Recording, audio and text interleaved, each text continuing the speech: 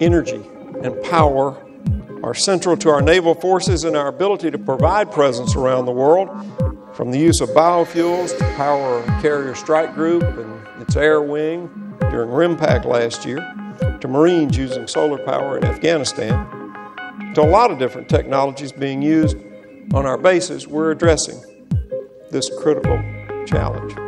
From sail to coal to oil to nuclear, and now to alternative fuels. Navy has led the way.